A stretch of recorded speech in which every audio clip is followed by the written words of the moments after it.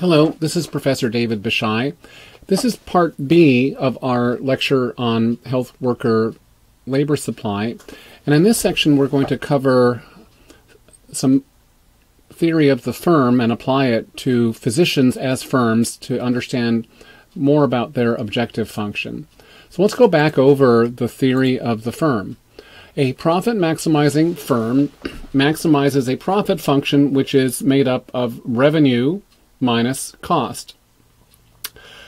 To maximize that, they will put in a functional form where revenue is the units produced, y, times the price of y, and the cost is their cost of the inputs, the wage times the amount of labor required, and the rent times the amount of capital required.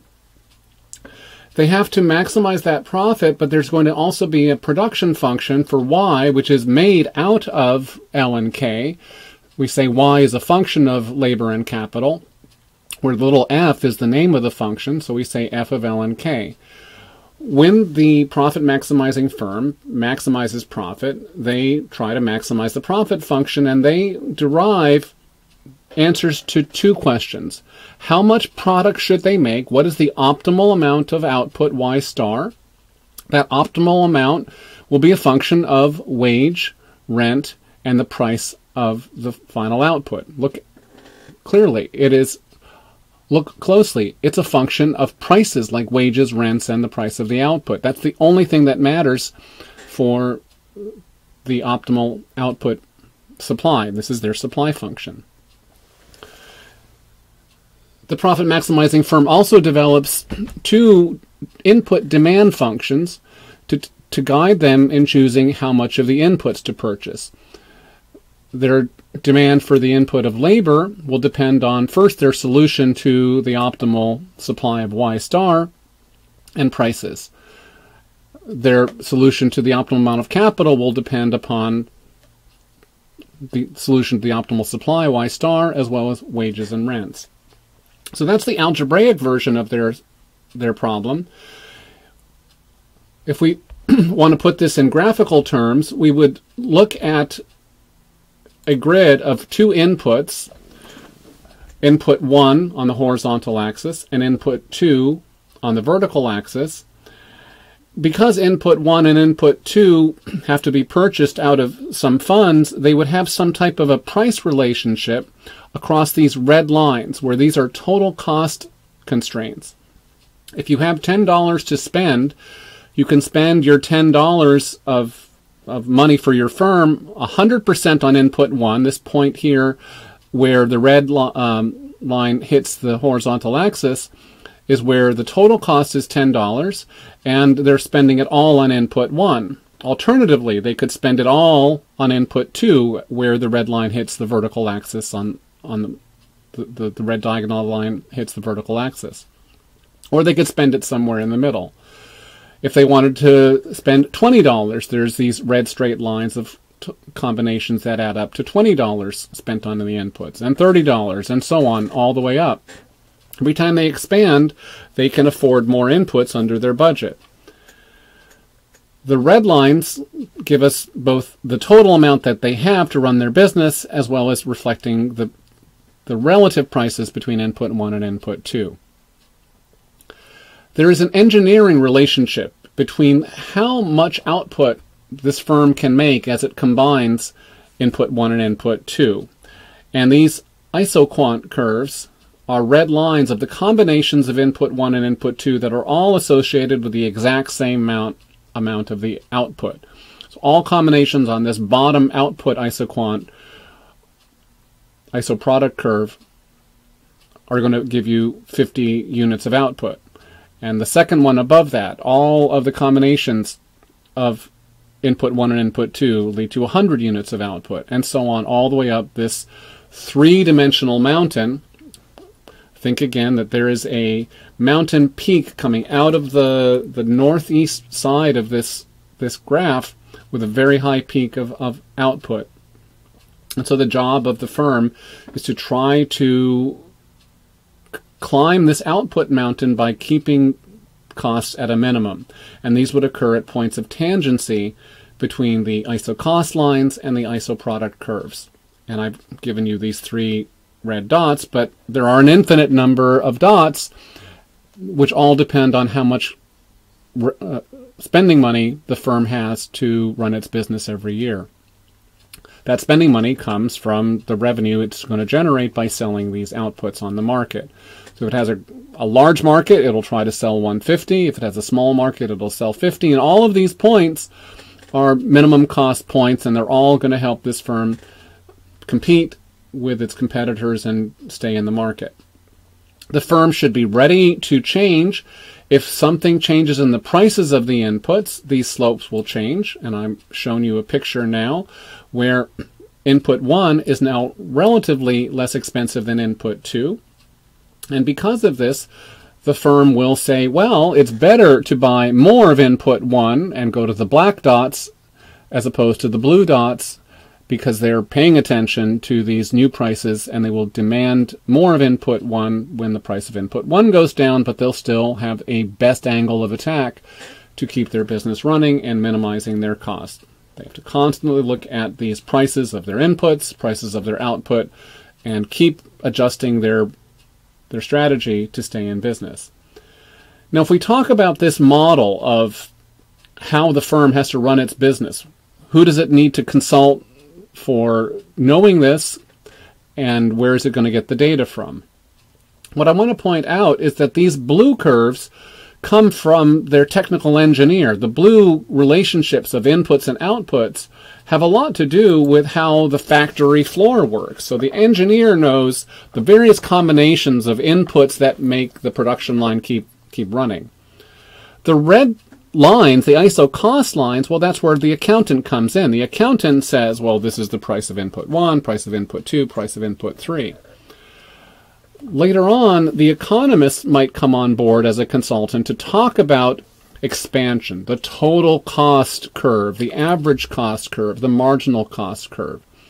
Now, if you come on board one of these firms as the economist, certainly if you come on as the health economist, you will be primed to ask is this firm in the health economy actually trying to minimize costs or maximize profits? As you know, the many firms are nonprofit firms and they don't want to maximize profits. And physicians, as firms, may not behave as profit maximizers. So now let's start practicing our health economics. I wanted to show you some potential data that you might see if you started to look at a physician practice.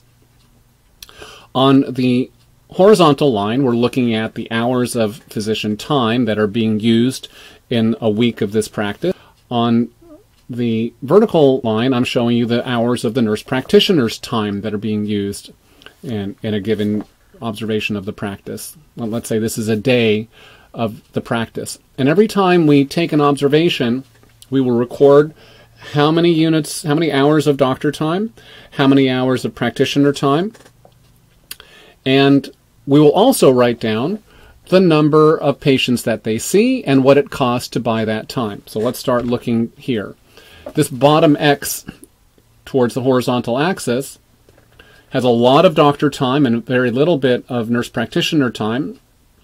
And because of their various wage scales, that point's going to cost $300. And we look at that combination and we see, suppose, 12 patients get seen on the day when we use that much doctor time and that little nurse practitioner time. And we write it down. We say, oh, this is interesting. We plot it on the curve. Let's take another reading on another day. We'll try a different combination. We'll try less doctor time and more nurse practitioner time. And on this day, we see it's going to cost $300. We've used less doctor time, more nurse practitioner time, still $300. We saw five patients. Well, that doesn't seem to be a step of progress. But we try again, and at this point, by adding a little bit more nurse practitioner time, we see 15 patients, we've cut down our doctor time, and the cost is $300. We could keep going. We could say, well, let's look over here. We have less nurse, ta- nurse practitioner time and less doctor time, and we can see 10 patients. And we try again. We try even less nurse practitioner time and even less doctor time. It's $100 and we can see five patients. And filling it out some more, supposing we have more nurse practitioner time, less doctor time, we see five patients, but it costs 120. And over here, $400 because we used a lot of doctor time and a little nurse practitioner time. There's 15 patients. So this is a mess of data. You could imagine spending a long time trying to figure out how do I give this physician firm advice here? Well, if I start to tabulate it all, I would begin to make a table of my data. I'm writing all of these numbers down. I see at the X's all of the data is now put into the grid. I've observed it's possible to spend $120 and make five visits, $300 and make five, $300 and make 12, blah, blah, blah. At the blue circles, that was kind of interesting. These are $100 to see five patients, $200 to see 10, $300 to see 15. Uh, I can see something going on here. At those blue dots, I get a $20 per visit minimum. Those are special points. I've drawn them specially with blue circles to call them to your attention, but they're very interesting points. They are my, my cost minimizing points. Let me try to work so harder to bring order to this raw data. One thing I can notice is that there's a $300 point down here at the bottom. There's a $300 cost point in the middle, and there's another $300 point up here. And so I could join those $300 points um, here with the $300 ISO cost curve. And I could join the $200 point with an ISO cost curve. And I can join the $100 point with an ISO cost curve. After I've seen lots and lots of these points, I might get a sense that there actually is an ISO product curve or a set of ISO product curves, and here they are. These points are all the output of five points. There was a $120 one over here, and there was a $300 one over here, and there was a $100 one over here. These are all of my ISO product curves. And so you can see in the end, after I've done this again and again, I could use the theory of the firm in order to help give advice to this firm on the blue dots being the cost minimizing collection of dots that will help this firm minimize its cost per patient seen and compete if other firms are also trying to, to combine inputs to minimize the cost. So the assumptions I have to make is that we've got a, a nice smooth cost curve which can allow us to guide the firm into making choices. A smooth cost curve. The choices that were required don't change the production function or the budget line. All the firm had to do was pick the points on the budget lines and on the, the blue ISO product curves that were given to them by the nature of their industry and the, the nature of their market if the firms maximize their profits, they will minimize the cost of producing output, and there will be a minimum cost function that is defined. That minimum cost function lives only at the blue dots. It doesn't live at the x's. Only on the blue dots in this model, there actually is a relationship between the cost of doing something and the total output and the prices. And if we have that type of curve, we could use it to make predictions and tell people important things. What I would love to do as an economist working for any firm is to tell my firm, firm, you will have a cost function that is a combination of your output Y and your prices W, and I know exactly what these parameters B1 and B2 are. B1 is the marginal cost to make one more unit. If you increase your output by one more Y, you will require uh, B1 more log dollars. Similarly, if the wages in your market go up by log W, B2 tells you how many more of those uh, input price dollars will get passed into your cost. So B2 connects uh, prices in your input market to the cost that your firm will bear, because the other costs you might be able to push out into your your market of, of, of your consumers. So one important point is that when we say the word cost, we only want to use the word cost to talk about the minimum cost. There are um, an infinite number of possible ways to spend money doing anything, but only the minimum cost approaches are of interest. So let's supposing I decided to go into the pizza business. Um, let me start to, to make some pizza. I've got my little plates. I'm going to make pizza out of some dough. So I'm going to say instead of rolling out dough in my pizza company, I'm going to use uh, preformed pizza crusts and I'm just going to use a tortilla. So I'm going to put a tortilla uh, on my plate, put one on this plate. This is one tortilla. But here, I'm just not paying attention. I'm not being very careful. And I'll put five tortillas down on this plate as the crust of my pizza. And then for some sauce, I'm going to take a packet of ketchup. Right here, I've got my Heinz ketchup, and I open it up, and I'm going to pour my, my tomato sauce on the five pieces of dough, put up some sauce here. You can see it, making some, some really raunchy pizza. And for this one, I forget it. I don't care. I'll just there. That's my my sauce on that one. We're going to spread this one around. And I'm being very careless and sloppy. I'm not paying attention to whether the market will buy this pizza or not. I'm just doing something because I can. It's a free country. And I'll take some some cheese here. You can see my my Romano cheese. Let me spread that on top of my pizza. This is gross, but I'm making the point that nature is full of people who are not trying to win in the pizza business. So here I've got a pizza with five pieces of dough, some ketchup, and some Parmesan cheese. And here I've got a pizza with one piece of dough, a little sprinkle of ketchup in the middle, and way too much cheese. Now, I could go and publish a study, and I said, well, it costs this much, uh, four cents to make this pizza on the right, and because I overdid it on the tortillas, it cost me 20 cents to make the pizza on the left. And so, hey world, the cost of making pizza is some average of 20 cents and 4 cents.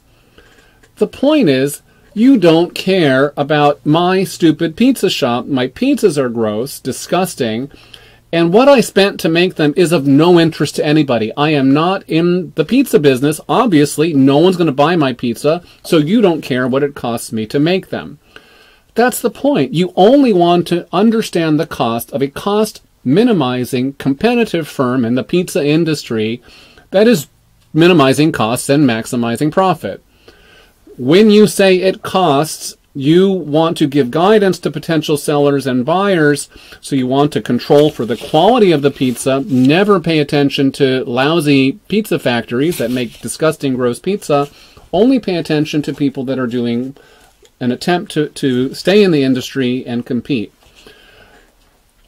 You also have to make sure that I'm trying to minimize costs, which I wasn't. I was doing really stupid things to my pizzas and using the wrong types of ingredients. So don't study the cost that I was spending on this failed pizza business and do study individuals that are trying their best to to try to minimize costs and maximize profits or to optimize something. Back in the health field, we will find that many of our providers are working for nonprofits and they are not trying to maximize profits, but we have to find out what they're trying to do to give them helpful advice.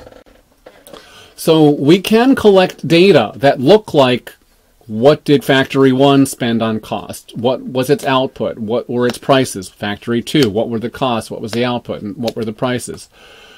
We can use our theory to try to fit an equation but if one or more of these factories is not trying to minimize costs and wanting to minimize something else or maximize something else, we should know that in order to give that factory good advice. So now in the health economy, the fact is that physicians do not only want to maximize profit, they want to maximize profit as well as maximize their enjoyment of life using their leisure time and they want to maximize some component of patient outcomes. they are internally trading off the utility function of these three things. All three things are good. They want money, they want leisure time, and they want their patients to have better health. But they don't want only one of these three things. And there are trade offs. Again, obviously, there's a trade off between how much money the doctor can make and how much leisure she can have. There's also a trade off between how much leisure she can have and how healthy her patients are if she wants her patients to have the best outcomes, she might give up her weekends and nights and work harder to do more for them. Call them up at, at uh, in the evening, often offer her email time. There's so much that a physician could do that might lower the profits, lower the leisure, and increase them. So all three of these things are in competition. And doctors vary in how much they value these three things. Some are going to have heavy weight on profit, heavy on leisure, like the the dermatologist maybe, uh, and some are going to be extremely altruistic and give up their leisure and their profit for patient outcomes. So we can actually test theories like that. We can see if physicians are maximizing profits in spite uh, of the impact on leisure and patient outcomes. Or we can see if physicians are sacrificing profits, giving up and not minimizing costs because they want to accomplish one of these other three things. So, because physicians are maximizing something besides only profit, they may not minimize costs the way an ordinary firm does. They may work for a nonprofit that says what matters more is the quality of care, let's say. So the physicians that we observe in reality will be maximizing some combination of profits and leisure and patient health. I'm going to start to, to give you examples of how we see this happening. First example comes from clinics in Uganda. Here is a cost curve showing the relationship between the log of annual cost for under five children. These are various clinics seen throughout Uganda and on a log scale, uh, the clinic seeing only 4.5 log children is costing 8 log dollars uh, per, per unit. And as they see more and more children, that costs them more log dollars per unit. There seems to be a positive relationship overall between the number of children seen annually. As that goes up, the total cost goes up. And this is expected. There is a little bit of a dip, though, and the other thing that I want you to see is that underneath all of these clinics is the best performing total cost curve. It is possible in Uganda to see this many children, let's say 5.8 log children, at a cost of $6 per, per unit. So this is a, a leading area. Also in Uganda, it's possible to be a firm that doesn't do cost minimization and spends 10 log dollars per unit. So there are many firms in our data that do not perform at the frontier, which I've gathered together by this, this curve. The higher points on the curve, the ones that don't make it to the frontier, maybe they're just inefficient, maybe they're higher quality.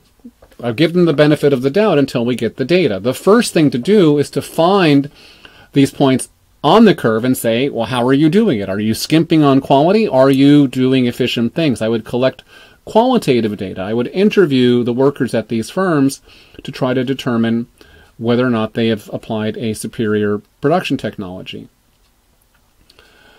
But the point is, they are not many of them are very, very far away from the, the frontier of best practices. Let me give you another example of a failure to optimize. Important study by Princeton economist Uwe Reinhardt back in the 1970s in New Jersey. He collected the type of isoquant iso uh, cost curve that you would see. He got data on the number of visits, data on the doctor's hours, nursing aid hours, and capital, and he estimated the production function. He plotted the isoproduct lines, and he determined that they were hiring too few nurses' aides per practice. The cost minimizing number of aides per pediatrician's practice was four. However, the in practice, most New Jersey pediatricians were only hiring two nursing aides. What's the explanation? If you think about a pediatric practice, pediatricians spend a lot of the time of, of a typical visit vaccinating the child. Because you can train a nurse's aide to give the shots, you could speed through production if you have all of the immunizations and all of the counseling and consenting and, and vaccinating operation farmed out to the nursing aide. And yet it seems as though pediatricians were so interested in controlling and participating in the actual counseling of what would be the side effects, what would be the indications, and the drawing up of the vaccine and the injection of the vaccine. They wanted to do it themselves, even though it lowered their profits and made them cost more.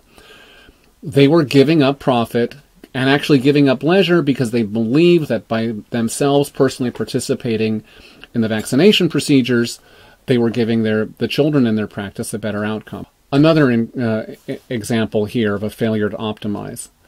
Well, fair prices would be really important if we did want to see minimum cost. And one of the things that we saw in part one of this lecture was that procedures are overvalued and thinking is undervalued.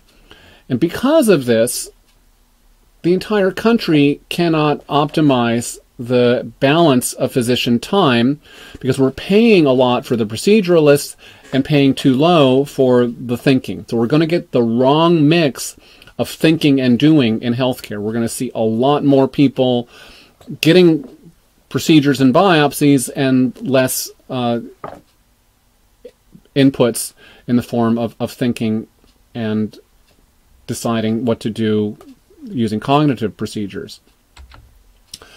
To correct this policy problem, the U.S. government commissioned a new way of paying doctors called the Resource Based Relative Value System, the RBRVS. This was explicitly designed to try to correct the pay disparity that you saw at the beginning of, of this lecture in Part A, where the cognitive specialists, internists, and psychiatrists got paid less than the surgeons and people who could do endoscopy.